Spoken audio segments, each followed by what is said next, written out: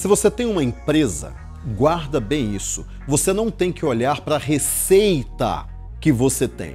Você tem que olhar para o lucro que você tem.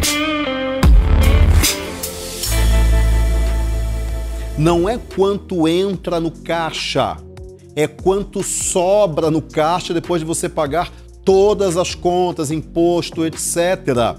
Tem muito empresário que chega para mim e fala: Conrado, esse mês eu bati meu recorde de faturamento, faturei 100 mil, faturei 1 milhão, faturei 300 mil. A pergunta sempre é: legal, excelente, parabéns para você agora. Quanto que sobrou no caixa no final do mês?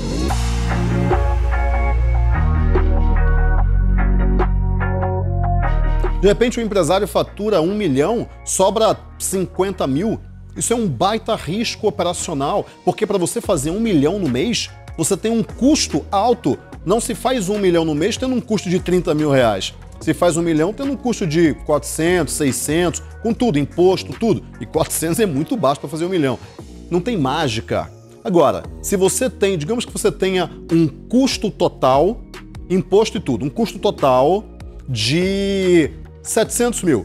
E aí você fatura um milhão. Só que você acabou investindo muito em anúncio ou qualquer outra coisa e aí o teu custo foi para 950 mil e você está faturando um milhão, sobrou 50 mil.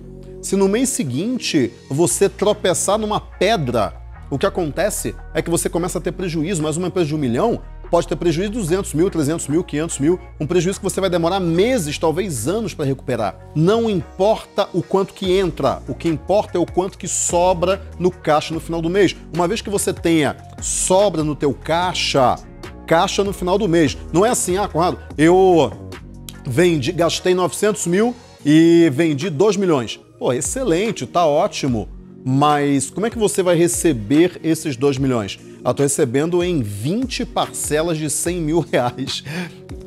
Eu posso te falar que você tem um problema. Ah, Conrado, mas eu, consegue antecipar? Consigo. A 10%, você acabou de matar a tua margem, que é em cima do bruto. É isso que eu quero que você entenda. Não é a receita, é o lucro, é o quanto que sobra no caixa no final do mês. Tem uma frase que a gente fala muito que é, receita é insanidade, lucro é sanidade e caixa é rei. É alguma coisa parecida com isso. Caixa é rei. Caixa é rei. Caixa é rei. É o que sobra no caixa no final do mês, depois de ter pagado tudo, ainda ter guardado um dinheiro para contingências. Então eu quero que você pense agora quanto que tem sobrado no teu caixa. Se você tem uma receita pequena, ah, quando eu faturei 100 mil, pô, mas sobrou 40 mil, pô, bacana.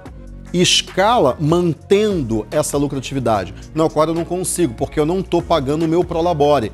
Então você tem um problema, você está enganando a conta porque você vai ter que se pagar em algum momento. Eu não estou pagando imposto, então você está se enganando. Por quê? Em algum momento você vai ter que pagar o imposto. Eu não estou pagando é, lá, a estrutura, é, é, um, é uma sala pequenininha que é própria. Tá, em algum momento você vai crescer, vai ter que pagar a estrutura. Então você está enganando a conta. Não é um lucro real, não é um lucro. Lucro real pode confundir com sistema tributário. Não é um lucro de fato. Pensa quanto que você tem de lucro. O que eu tenho ajudado as empresas a fazer através de criação e desenvolvimento de processos de vendas estruturado no programa de seis meses que a gente tem, que é o Outlier, acompanhando as empresas diariamente, é justamente fazendo com que ela aumente o caixa dela. E eu falo isso, tem que sobrar dinheiro no final do mês. Não é o quanto que entra, é o quanto que sobra. É isso que você, você sempre tem que buscar, sempre tem que buscar.